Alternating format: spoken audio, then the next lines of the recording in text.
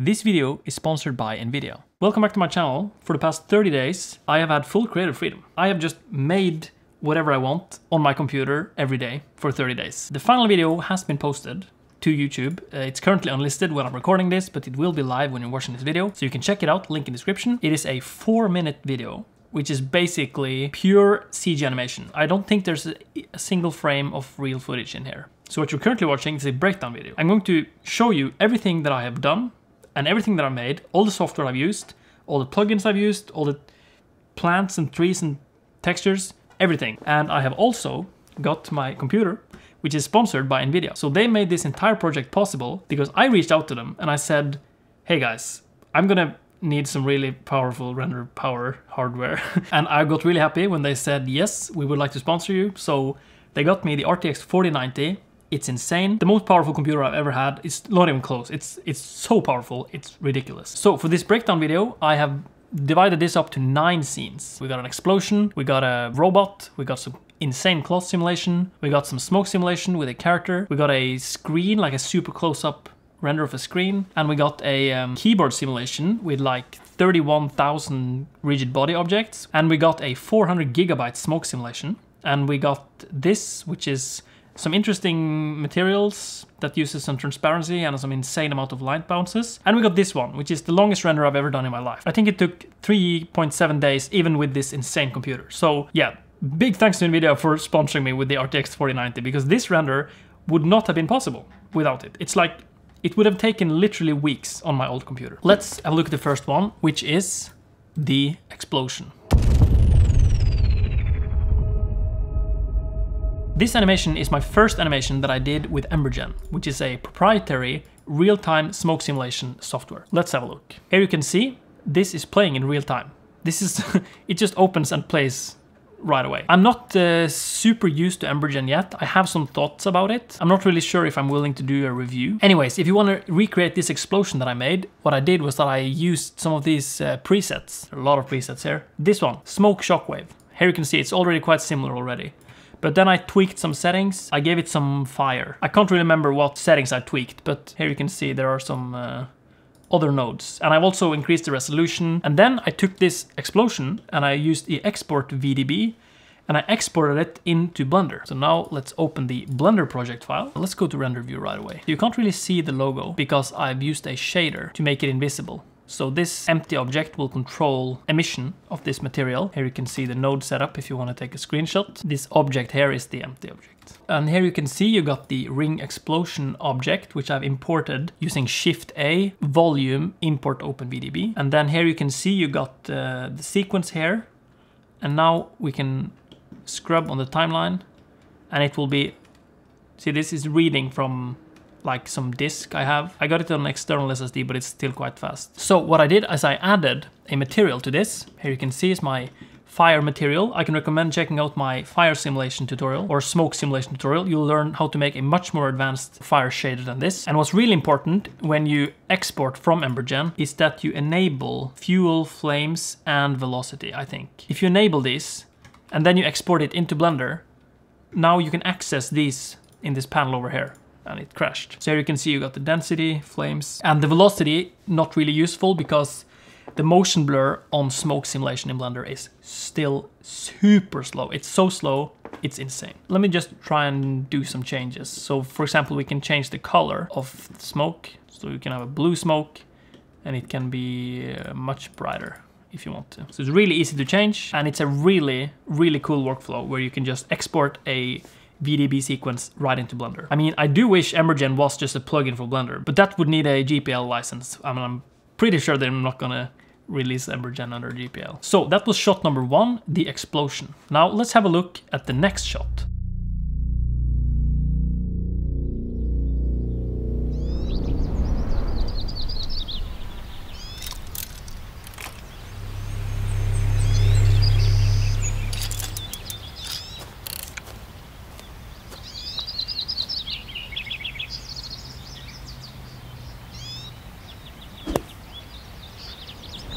These hard drive legs walking on the grass. So let's open it and have a look at what it looks like inside of Blender. So here you can see we start out far, far away and then we zoom in and then we're here. So this camera motion took like probably a day to dial in. It was really difficult to get that smooth transition going. So this model, or this robot, is made out of parts that I have purchased on TurboSquid. I initially used this design in another video, this one. Here you can see, it's the same design. But uh, I've replaced the GPU from the 3090 to the 4090, and I've also replaced some of the components. So now this is more similar to the PC I have here. All I had to do was to change the mocap because I already had used the same rig. I just had to change the animation data. So I just replaced the mocap animation, which was super tricky. And I'm not really sure if there's any reliable way to do that. I had to struggle for a little bit. So now let's have a look at this. Oh, by the way, there's an NVIDIA logo there, but that didn't end up in the final shot. So let's look at this in render view. We're not getting any plants because I've disabled them, because that will go really slow. Yeah, it's levitating because the grass is so long. So let's try and enable the grass and see what it looks like. So I have been using Botaniq for many of the scenes in this art film project. So this is one of the shots where I tried to see how much grass can I put in this scene before I run out of VRAM. And the answer is I wasn't able to run out of VRAM. Let's do a render actually and see how much VRAM we're using. Loading in all these flowers, curves and mesh and all these objects. I got a bunch of collections here with all the computer parts. Oh, we're actually just using 2.7 gigabytes of VRAM. So it's definitely uh, room for more grass here. I think also the Botaniq add-on is quite lightweight, so that's really nice. Let's try and enable some grass. Look at this, We're on the walls as well. So now we might get some uh, interesting viewport performance there. It's still fairly responsive. There's a lot of volumetrics here. Probably I would have dialed it down if I were to do this again, but I just really liked what happens. Let me show you what happens when we advance through the timeline here, the lighting changes. I think there's a sky HDRI. This, uh, yeah, it's this one, the sky texture. I'm using a mix node to swap between these two sky textures. So there's a transition from like day, like this, to like really early morning, and I just really wanted to see that transition. The transition itself is not as smooth as I wanted it to be. Here you can see we're at the daylight, and then it sort of like bam, it's early morning. But I, I, think it sort of works. And this is a lighting that I further explored in the last shot. So that is going to be shot number nine. So yeah, oh, one more thing. The golf club is, let me just hide some of this. The golf club is attached using some weird, I think there's at least one track to constraint here. There's an auto track with an animated influence. And there's also some rotoscoping here, as you can see. So making this golf club sort of work well, it took a lot of work, but I'm really happy about this shot. Especially with the sound design, it feels very, very much um, alive. Oh, that's a sneak peek on the next one. Let's have a look at the cloth simulation.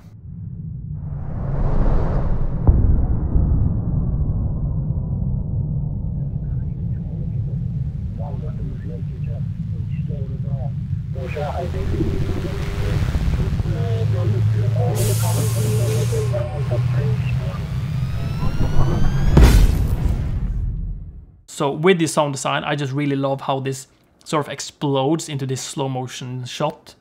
And then you got this oval bokeh with the, some chromatic aberration. I wanted to make this look super warm and I wasn't really able to get it to be that warm. This glowing part. I think actually it's just some basic node setup, just some basic fog glow and just some really bright, bright lights. So this is the biggest cloth sim I've ever done. It is six gigabytes. that is wild. So I'm not really sure how how responsive this blend file is going to be to work with, if it's going to open at all. Oh, there is. Yeah, so this is a cloth simulation. This was one of the first scenes I did, so I can't really remember the settings. So it's all gray now because it's baked. But uh, the trick is to just turn off the gravity. I just disable gravity. And then, honestly, I feel like turning off gravity is almost cheating when it comes to cloth simulation. Because it just looks so good in like slow motion and yeah. So let me, look at this. I just feel like this looks so good. And then there's a camera cut to a close-up. And then there's a golf ball, which opens up and turns into this uh, spaceship.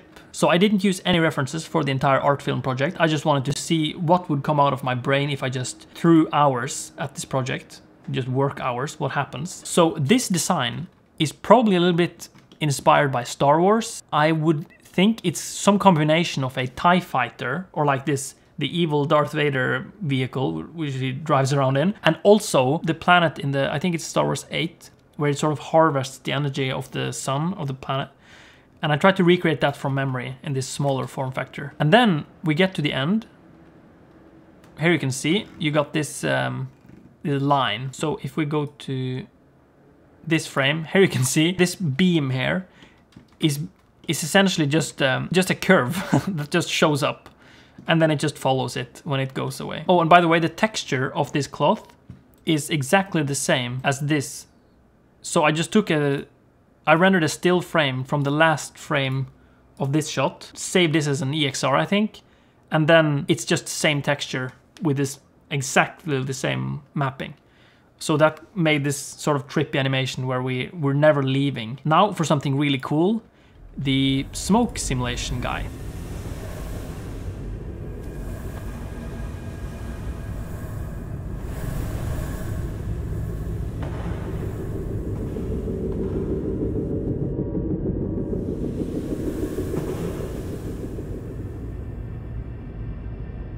I've been working with this smoke simulation character for a few years and it was really cool to visit him again. And this was also made with Embergen. So this also simulates almost in real time. I added some wind that comes from this direction so we could more clearly see the, the shape of this creature or this person. If the wind wasn't there, it just went straight down. It was pretty difficult to see that there was a person standing there. Yeah, oh look at this. Look at how beautiful it is where this smoke just sort of curls around like that. That is amazing. Look at that. Same procedure here as in the other one. I exported the VDB sequence into Blender. So this smoke simulation was 79 gigabytes. This vibe, I just think it's so cool. And you can probably tell because I've been doing this for many renders where I got this Voronoi texture on the ground and I got this smoke which is just landing on the ground. It's this puffy smoke that just sort of collides with the ground. I really like this effect. And here you can also see a little bit this these curly lines that we saw earlier. But I just really like how Cycles renders smoke. It just looks really good. And you can just keep increasing the density. And honestly, I just think it looks better and better. Look at this. Look at this really thick smoke. It's just so detailed, I love it. And then it's super easy to change the color. So here you have this gradient from, yeah, really powerful stuff. So if you think it's annoying that it's sort of flickering like this, you can enable the viewport denoiser and you can set it to OptiX. And this responsive viewport with the OptiX denoiser is possible thanks to the NVIDIA GPU. Okay, next shot is the CRT screen. Let's have a look at it.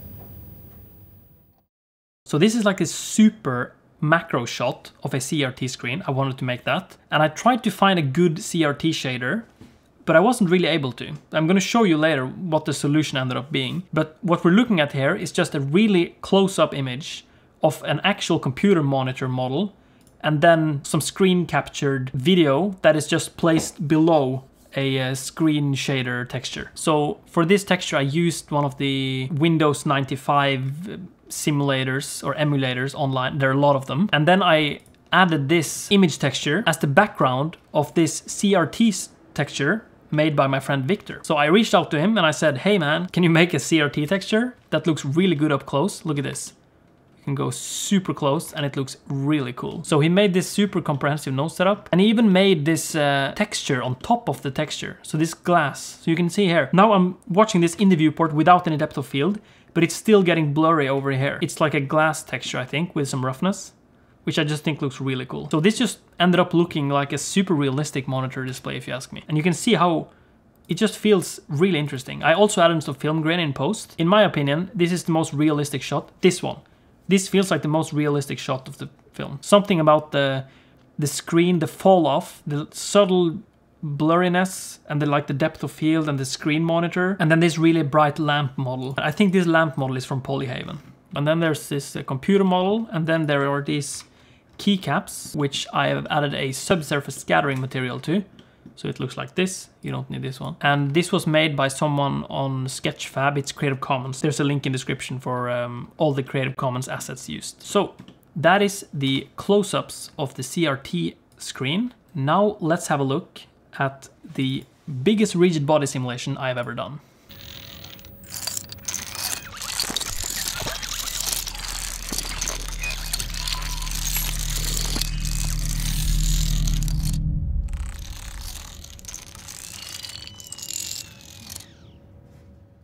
This took like hours and hours to bake. I'm not really sure how many hours it took to bake, but it was a really long time. And it took really long time to render as well, because every frame you have to build the scene again. So you have to load, I think it's 31,000 computer keys. 31,000 of those have to be loaded in to the VRAM every time. So it, it's like this constant traffic of data going into the VRAM. And that is a close-up of a mouse just moving these things around, which was uh, fun to do. This was another shot, by the way. Let's open up the big rigid body simulation and see what it looks like inside of Blender. So this takes a lot of time to open, which is uh, expected. This is a really big file. It is 1.3 gigabytes. So it was really fun to set this scene up. But once I realized I'm gonna need a lot more keys to be able to write what I wanna write, I just, it was really, it was a struggle. So this was made by using a curve. So let me just show you in another project file how easy it is to. So you make a curve and a Bezier and you press tab to go to edit mode,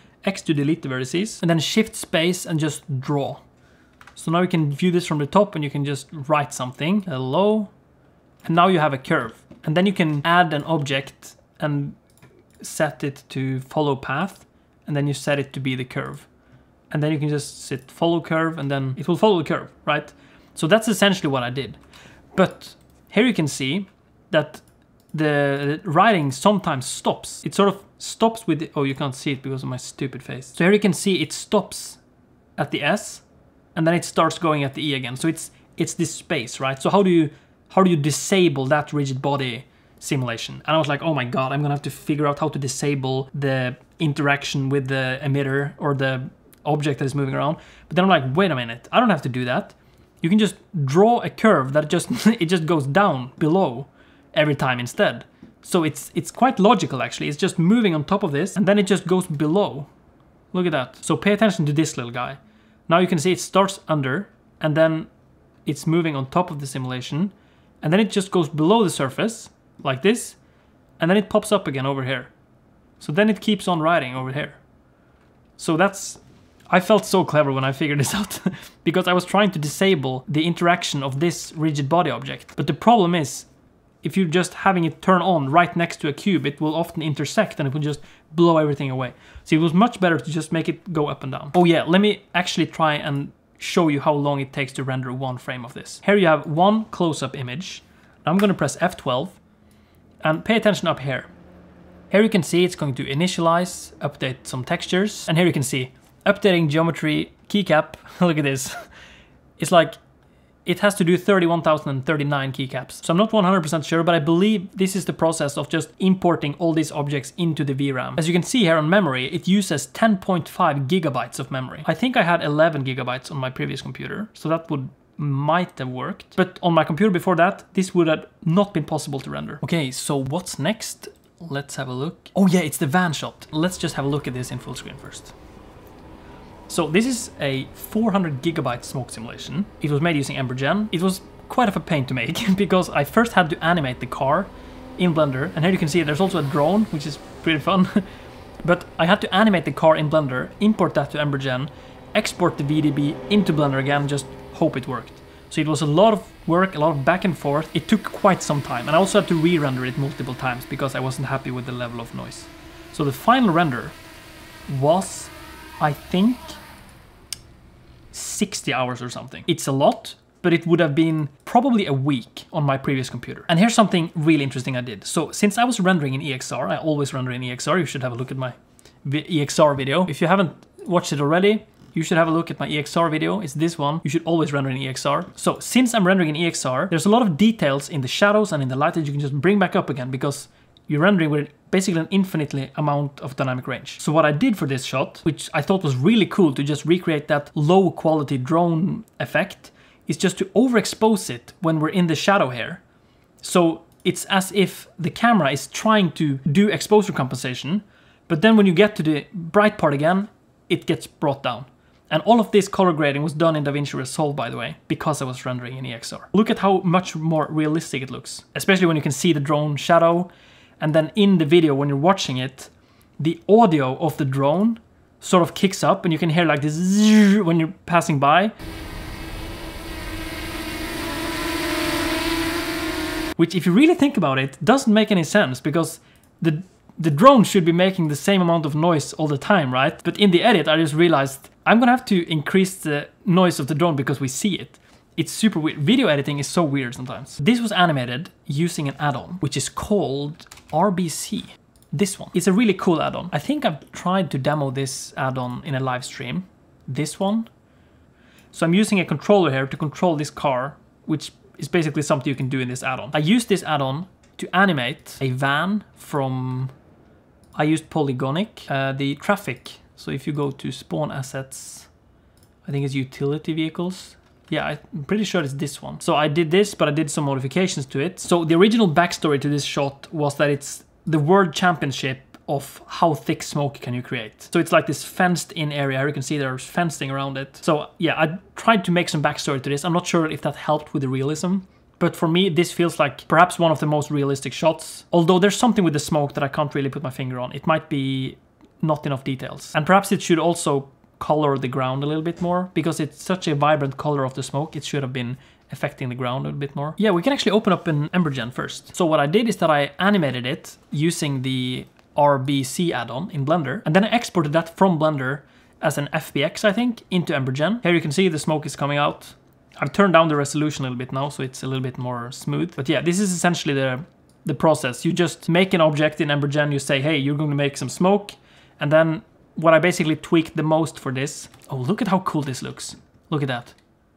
This twisting effect of the smoke, that's the effect I really wanted to try and focus on. The settings that I tweaked the most, I think, was how long the smoke is going to stay in the air. Because there's not that much wind here. So it was like, if it dissipated too quickly, it just looked like it was nothing. And if it dissipated too slowly, it just smoke everywhere. But I think I found like a nice middle ground. Then I exported this to Blender, which ended up being a 400 gigabyte smoke simulation. So that means that I don't think I have the smoke simulation in this scene. But you can see the material here. This is how simple the smoke shader is. You can screenshot this if you like. This is the smoke material. Oh, and by the way, inside of this, I forgot about this. There's this Mixamo model. There's an IK armature in here. So this bone is parented to this wheel. And then this wheel is sort of moving around. Look at that. Look at how extremely realistic that looks like. I just tried to set this up like a meme, but it actually turned out really well. Look at this. It looks like this guy is turning. So then I just animated this to make it look like he's actually turning. So when the wheels turn, he has a keyframe and you can't really see it in the car, but something really cool that happens at the end of the animation. So he stops the car, he sort of, he parks the car like this, and now look at this. Look, it looks like he's gearing, right? He's like he's putting on the handbrake or something. Look at that. Like, little bit. and that was just a glitch, and I'm super happy about it. And I think you can actually see it in the final video. So let's see. Yeah, look at that. You got a little bit of an, uh, like a, some, he's like adjusting. That's like life, you know? It's like a real person reacting to something. It felt like, at least. And one more thing I need to talk about is this thing. It's a cloth simulation, so this object, as you can see here, this cube thing, this is the simulation. So this spring has a surface deform pointing at this cloth simulation. And the cloth simulation has a stiffness, which is a weight paint. You see this? Fully heavy hair and then it's not heavy at all here. It's like an inflatable arm thing. The trick is to hide this object. So you can see this object is not visible in the render, it's only the spring. So you just have to simulate this low poly cube thing instead of this entire spring, which just saves a lot of time and is a little bit more reliable as well. Now for the final trick of this shot, the drone. So there's a shadow of a drone in this shot. So I just really thought about this how can I make this as realistic as possible? And I just tried to think, how was this made, you know? And I realized, of course, there's gonna be a drone that is filming this, so we have to make the drone. There is a camera in the scene, and then there's a drone that is parented to the camera. But the problem is, look at that. Look at this. You can't have it like this. because now you can see the drone, right? So the drone is hidden. So in the ray visibility, the drone is hidden from the camera. Here you can see there's just a, I just modeled a really rough uh, DJI drone. And you also got the propellers. I'm gonna select all of them and just enable them in the camera as well. It's just this really subtle gradient. And then this drone is also animated a little bit. So when the camera is changing angle, the drone is rotating as well. See this? Yeah, so you can see this even better in the rendered video. Yeah, here the drone and it sort of tilts and it moves the other way. However, the biggest problem with this shot now is that wouldn't the drone like push all the smoke away below it and you would make like a super interesting whirly pattern and it would really mess things up? Probably. I uh, I didn't do that. Because first I did a 400 gigabyte smoke simulation, which took like many hours to export as a VDB, even with Embergen, which is fast. And then I was like, okay, so I have this smoke simulation, and now I've added this drone, and I'm like, I'm not gonna, I'm not gonna rebake the simulation. so yeah, but I'm not sure if anyone is noticing that. So it's gonna be interesting to see in the comments if people are thinking that the drone should be pushing away the smoke. Because honestly, the biggest problem with the smoke is that the car or the van is actually not pushing away the smoke, it's just deleting the smoke. There was a bug with the animated collision in Embergen, so it would just mess up the smoke if I tried to use the vehicle as an animated collision. So I just basically turned it into a smoke deleter. So it's basically it's moving into the smoke and it's just chopping away all the smoke without pushing it away. So that's probably the most unrealistic part about this smoke simulation. Especially over here. Here you can see this would have definitely uh, pushed away the smoke a bit more. But I think the the twisting effect we get here. Look at that. The yeah, that's so cool. Okay, so the next shot is the flower.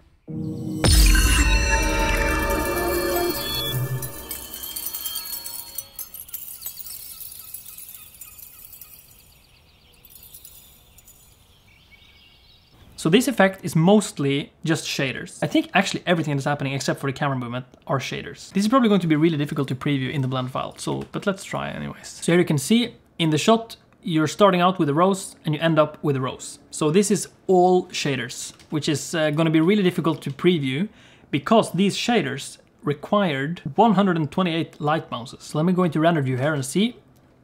In the world, you can see it's still using the sky texture set to Nishita. So this rose is a glass rose, which has a bump texture set to magic texture. Also, fun fact about the magic texture, Ton Roosendaal, the man who made Blender, he also made this texture.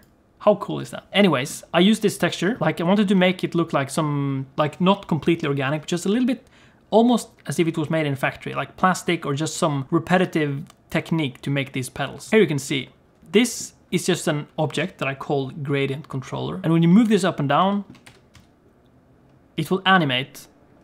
So this was set up by using color ramps to sort of tweak the um, edge and then use a gradient texture on top of that. So instead of trying to explain this with words, let me just show you how this works because it's actually not that advanced. So I can do this. Yeah, if I just move this up, you can see that there's a gradient here that is just animated. And then instead of having this be a completely flat gradient like this, so this is the basic gradient, and then I'm using a color ramp, which makes it a little bit smoother, and then it is a Voronoi texture, which looks like this, and this isn't really affected by this. But the point of the Voronoi texture is to change the edge. So imagine that you want this edge to be a little bit broken up, then this Voronoi texture has been added. So now if you look at the combination of these, it is a little bit more organic. And what this controls is a transparent material.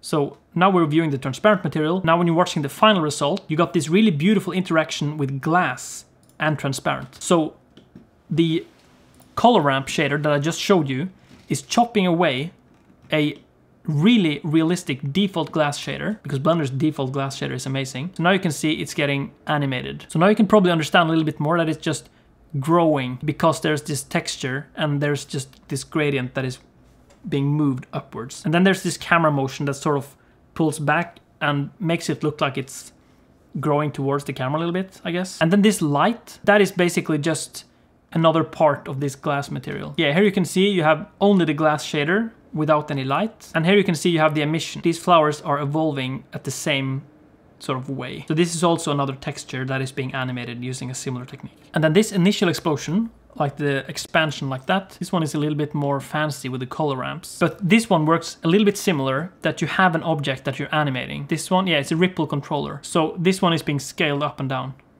See that? If I were to do this again, I would have probably tried to do it not with a shader, but with geometry and maybe geometry nodes, even though I don't know how to use geometry nodes. So everyone who's using geometry nodes is probably sitting here thinking, you should have done this with geometry and not shaders. Because with shaders, you get a slower result because of the transparent shader that needs so many light paths bounces. But the uh, RTX 4090 was able to do this just fine. Speaking of long render times, let's have a look at the longest render I've ever done. And by longest, I mean the most render heavy.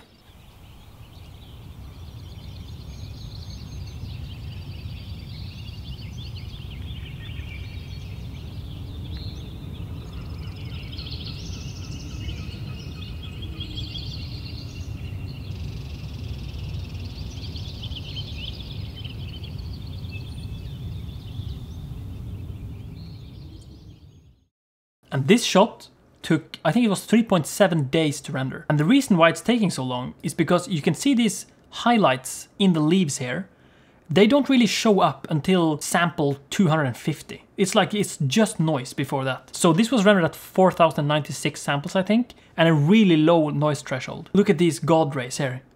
I'm really happy about that. And almost all the lighting here is the Nishita sky texture. I just increased the power of the sun in the palm of my hand. And then this glass object in the center here is a curve upon a curve that is moving along a curve. It's just curves. I'm just going to show you how to make this.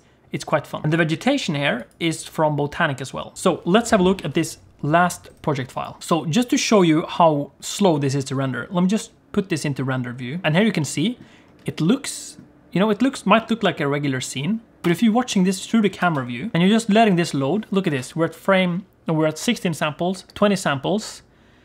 You can still not see any details in the leaves here, right? But once we're getting towards 100 samples, 120, look at this.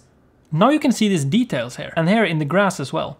So this render just required a lot of rendering power. It was really fun to do. I was so excited when I was waking up on the fourth day to watch this. Anyways, let's have a look at how this curve object is made. Let me open up a new file and just show you quickly how you can set this up. So you use a curve and let's just um, make some more uh, stuff here and just press A to select everything, V automatic. So now here's just a curve path, right? So now let's make another curve and let's make this flat. And in the object data properties, if I increase the geometry and then I use a curve modifier on the curve and set it to be the curve, now you can move this curve along the curve and it will bend like a curve. So there's a lot of curves here. Uh, let's scale this up and let's add some more subdivisions. Now I didn't really make an interesting shape like the other one, but the point is when you're moving this curve around, it's interesting. But this is just like a cylinder, right? Instead of having this curve just be a round bevel, you can set the bevel of the curve to be another curve. So let's make another curve, a third one, and let's just delete this and go shift space and draw and just make this really detailed shape and you can press alt C so now it's a loop and then press V automatic. I'm gonna move this down. So now you can take the curve, this one, and you can set it to be this. Let's scale this down. And now you can see where I'm going with this. And then you can duplicate this curve and you can duplicate this one. You can make it bigger and you can set this to be the bigger one. So now you have like two curves on top of each other. This one is shorter, right? So now this curve is moving on top of that curve. So now you can get, now you get this one that's moving around, right? It's basically just curves upon curves upon curves. And what's really cool about this technique that is amazing is that you can always change the resolution of all the curves. So in wireframe view, look at all this mesh, right? It's way too much. But if you just lower this one and this one and this one, you can just lower the resolution preview of all the curves, and then you have a super lightweight animation. And then in the final render, you can just increase this to something really high, and it will look really good. Now, instead of increasing this render resolution, I just used a subdivision surface modifier. So that's, uh, that's basically just the same thing. So this is a really cool way to just create some abstract geometry using only curves. And uh, let's have a look at one more thing here. There is volumetrics here, but there's something interesting about this volumetrics. Yeah, here you can see the volumetrics. Let me show you the gradient texture. look at this. There's a texture that is a gradient. So it's very dense down here and it's not so dense up here. I'm using a color ramp to basically make it a little bit smoother. So here you got not so dense volumetrics up here and it's a lot more denser down here. And this just makes it look like the sky is more clear while the streaks in the sun, the god rays here, are more visible towards the ground. So this was, it took quite a while to dial in since volumetrics is really slow to render, but I just think it's a really cool effect that you get to have this varying degree of volumetrics. And then I think the only light source in this scene, the world shader with the sky texture just set to a really high brightness. It has a sun intensity of 3 and a strength of 0.1. And then you can sort of, you can rotate this if you like, and you will get a completely different look. Yeah, that's, that's interesting. It's like a sunset, but I really like it when it's coming from over there. I think it, it feels a little bit magical. I'm, I'm so happy about this shot. I'm definitely going to try and make some more longer renders in the future because it was really fun to just do a like a three day render. I do actually have an overview of all the render times. So this one, the explosion took 17 hours to render. The golf shot took uh, 19 hours. So this is the space blanket. And then this is the golf hit. And then the smoke dude 5.6 hours. So as you can see here, the total render time of this entire project was 301 hours, which is insane. This would have taken way over 1000 hours to render on my previous computer. So that is my art film project. It was a really fun project to do. It is 0.3% uh, of my life that I will never get back, but it was worth it. I haven't really used anything other than Blender for many, many years now. So it was interesting to use Embergen. It was also interesting to use some paid add-ons, for example, Botaniq and the car controlling add-on. I just learned so much about myself. And one really interesting thing that I learned is that the grass is always greener on the other side. You might think to yourself, oh my god, I wish I just had like a month where I can just make whatever I want. Let me tell you, like on day five, it was like super painful. I just had to force myself to do stuff, to to create something out of nothing, you know? It's it's a friction there. It's really difficult. So if you're curious about that journey, I did actually make three devlogs on Patreon, so you can watch those and see how I struggled throughout this process. So, if you ended up watching this entire video, that's pretty cool.